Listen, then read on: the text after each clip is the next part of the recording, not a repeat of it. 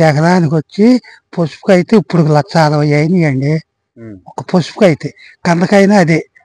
కంద కూడా రేట్ అంతే రేటు. పుట్టి అది పద్నాలుగు వేలు పదమూడు వేలు. దా దానికి కూడా లక్ష అరవై వేలు అయిపోయింది. ఇప్పటికి కవులతో కలిపి లక్ష అరవై అయింది.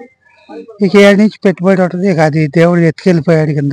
ఏం చేస్తామండి? మరి మొత్తం ఈలేడు మరి రైతు ఒత్తిడి చేస్తాడు. ఇస్తా ఈ- ఇస్తాడా ఈడిగా?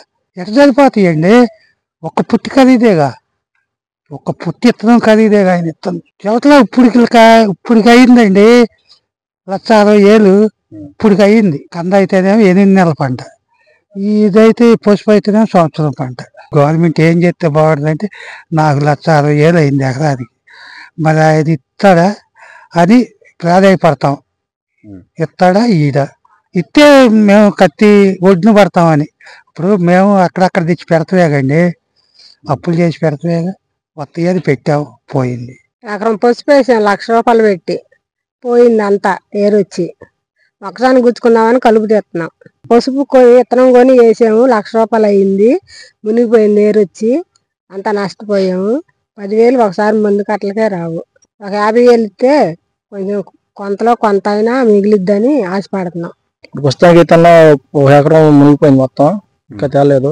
దాని వరకు లక్ష లాస్ వచ్చింది. పెట్టుబడికి ఏదైనా లక్ష లాస్ వచ్చింది.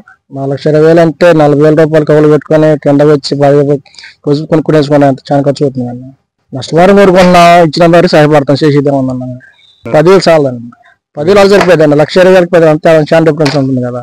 అంటే అనిపించిన మన యాభై వేలు కానీ ఏమన్నా నష్టపరం పాతికేలు సరిపోతాం ఉందండి సగం ఉన్నాయి ఇప్పుడు ఎకరానికి అట్ట ఇట్టింది రైతుకి.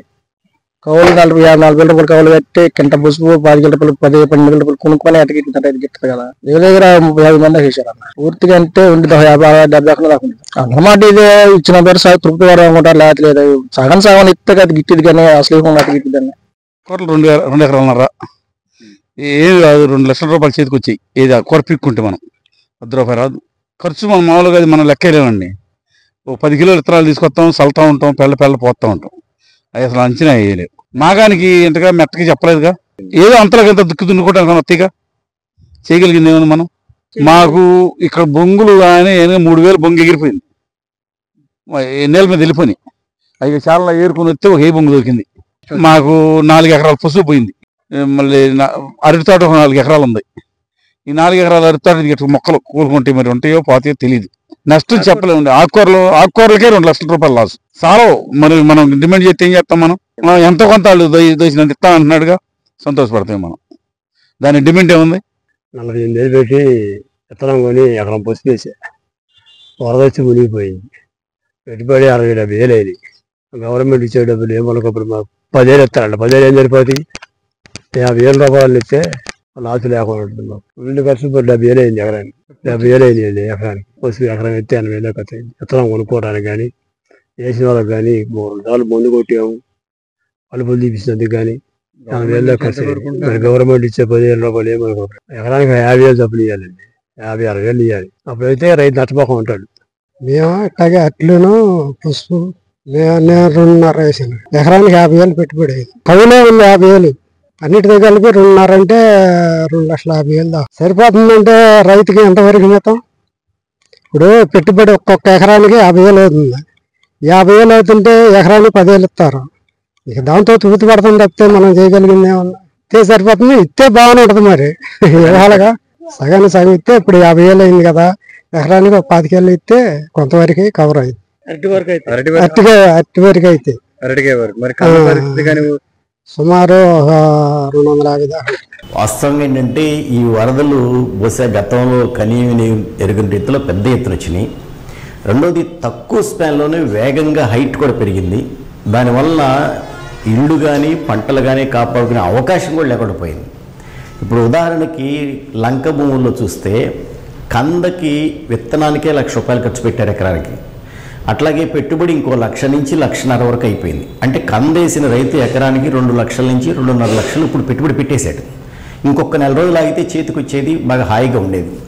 కంద విత్తనం కూడా బీహార్ నుంచి తెప్పించుకున్నారు. కష్టపడి ఎక్కువ పంట ఎక్కువ దిగుబడి వస్తుంది. భవిష్యత్తు బాగుంటుందని చెప్పి. కాబట్టి రెండున్నర లక్షల పెట్టుబడి పెట్టిన కంద రైతు ఇవాళ దిక్కుదోచని పరిస్థితిలో పడ్డాడు. వాళ్ళల్లో కూడా కౌలు రైతులు. ఈ రెండున్నర లక్షలకు తోడు కౌలు నలభై వేల నుంచి అరవై వేల వరకు ఉంది. అంటే మూడు లక్షల పైన కౌలు రైతు భరించి మొత్తం నష్టపోయాడు. అంటే ప్రతి కౌలు రైతు బహుశా వాడి శక్తిని బట్టి దొరికే అప్పును బట్టి నాలుగు ఎకరాలు ఐదు ఎకరాలు చేస్తాడు. అంటే ఒక ఐదు ఎకరాలు కౌలు చేసిన రైతుకి పదిహేను లక్షలు ఒక్కసారి కళ్ళ ముందు వరదలో కొట్టుకుపోయినాయి. వాడు ఎట్లా బ్రతకాలో వాడికి అర్థం కావట్లేదు. పసుపు రైతుకు కూడా వాడికి కూడా ఎకరానికి విత్తనానికి ఒక లక్ష రూపాయలు ఖర్చు అయింది కారణం కూడా ఏంటంటే ఈ సంవత్సరం ఎక్కువ మంది వేసింది. లాస్ట్ ఇయర్ పసుపు కొంచెం మంచి గిరాకీ ఉంది. దాంతో ఈ సంవత్సరం పసుపు మళ్ళీ గిరాకీగా ఉంటుంది. మన భవిష్యత్తు బాగుంటుందని చెప్పేసి ఈ విత్తనం కాడి నుంచి అన్ని అప్పులు చేసి కట్టారు. అంటే పసుపు వేసిన రైతు కూడా సుమారుగా లక్షన్నర నుంచి రెండు లక్షలు ఖర్చు పెట్టారు. అట్టగే అరటి లేకపోతే తమలపాకు ఈ పంటలన్నీ దాదాపు లక్షల్లో పెట్టుబడి పెడితే మన రాష్ట్ర ప్రభుత్వం చాలా అత్యంత దుర్మార్గంగా మానవత్వం ఉందో లేదో కూడా పరిశీలించాలి. కేవలం పదివేల రూపాయలు ఇస్తారన్నారు ఎకరానికి. అంటే పదివేల రూపాయలు ఇవాళ వాళ్ళు ఇచ్చేది ఆ పాడైపోయిన భూమిని బాగు చేసుకోవడానికి కూడా సరిపోవు. నేను బట్టిప్రోలు కొల్లూరు మండలాల్లో తిరిగితే ఆ రైతులు చెప్పింది ఏంటంటే ప్రతి సం నీటి నది పక్కన ఇసుక మేటేసేసింది కాబట్టి ఒక అరవై డెబ్బై ట్రక్కులు ఇసుకని లేపి లిఫ్ట్ చేసి బయట తొలగిస్తే కానీ మళ్ళీ సాగుకు యోగ్యంగా రాదంటున్నారు.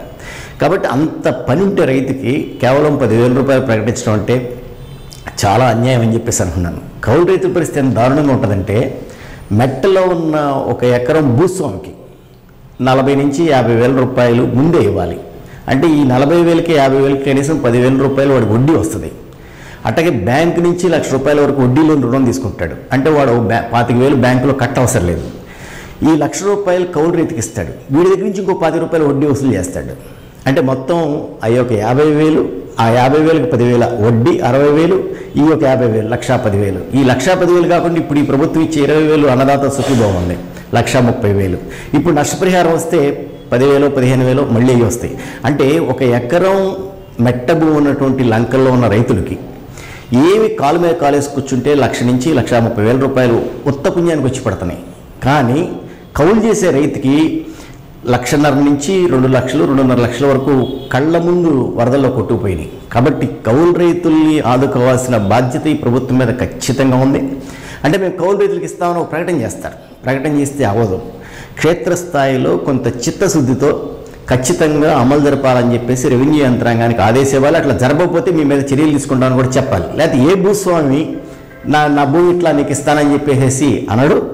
ఈ వచ్చే పరిహారాలు కూడా వాళ్ళకి ఇవ్వరు. అతి తక్కువ మంది మాత్రం ఏదో కొంచెం మానవతా దృక్పథంతో ఇస్తారు కానీ ఎక్కువ మంది ఇవ్వట్లేదు కాబట్టి ఖచ్చితంగా ప్రభుత్వం ఈ సహాయాలన్నీ కౌలు రైతులకు ఇవ్వాలి. పైగా ఈ ఇచ్చే సహాయం కూడా ఇది నామమాత్రం సాధ్యం కాదు. వాళ్ళు కోలుకోవడం కాబట్టి బాగా మెరుగ్గా నష్టపరిహారం ఇవ్వాలి. మరో ముఖ్యమైన విషయం ఏంటంటే ఈ నష్టపరిహారాలు ఒక ఎత్తు పంటల బీమా చాలా ముఖ్యమైనది పంటల బీమాకి గతంలో ప్రభుత్వమే కట్టింది.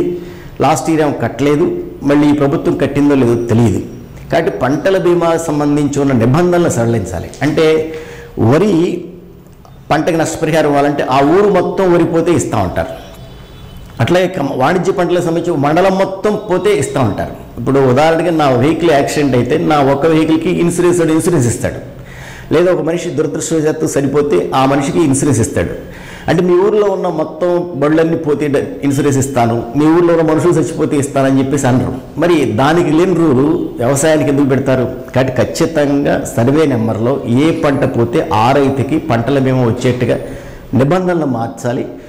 ఆ నిబంధనలతో కూడా ఏంటంటే ఇప్పుడు మనం కట్టే ప్రీమియం ఇన్సూరెన్స్ కంపెనీలకి లక్షల కోట్లుంటే ఇన్సూరెన్స్ కంపెనీలు చాలా వందల కోట్లు మాత్రమే రైతులకు ఇస్తున్నాయి. కాబట్టి చాలా ఎక్కువ లాభాలు ఇన్సూరెన్స్ కంపెనీలు పొందుతున్నాయి. కాబట్టి ఆ రూల్స్ని మార్చి రైతులకు బెనిఫిట్ అయ్యేట్టుగా రైతులకు ప్రయోజనం చేకూరేట్టుగా ఆ భీమా నిబంధనలు మార్చాలని చెప్పేసి కూడా మేము అడుగుతున్నాం. ఇంకో ముఖ్యమైన విషయం ఏంటంటే ఇప్పుడు పంటలు మొత్తం పోయి పెట్టుబడి పెట్టారు. మళ్ళీ పంట వేసుకోవాలంటే వాళ్ళ దగ్గర డబ్బులు లేవు. ఇప్పటికే ప్రైవేట్ వడ్డీ వ్యాపారస్తుల దగ్గర తెచ్చి పంట వేసి పంట పోతే మళ్ళీ పంట వేయాలంటే డబ్బులు లేకపోతే ఇబ్బంది పడతారు కాబట్టి ఈ పంట రుణాలను రద్దు చేయాలి. అవసరమైతే రీషెడ్యూల్ చేయండి కనీసం. వడ్డీ మాఫీ చేయండి కొత్త అప్పు ఇచ్చేయండి. ఇస్తే అప్పుడు ఏంటంటే ఆ కొత్త అప్పు తీసుకొని మీ ప్రభుత్వం ఇచ్చే సబ్సిడీ విత్తనాలు పెట్టుకుని మళ్ళీ పంట వేసుకోవడానికి సాధ్యపడుతుంది. అందుకని ఈ చర్యలు తీసుకోవాలని చెప్పేసి ఈ ప్రభుత్వాన్ని మేము కోరుతాం ఎం హరిబాబు ఆంధ్రప్రదేశ్ కౌలు రైతుల సంఘం రాష్ట్ర కార్యదర్శి. ఓకే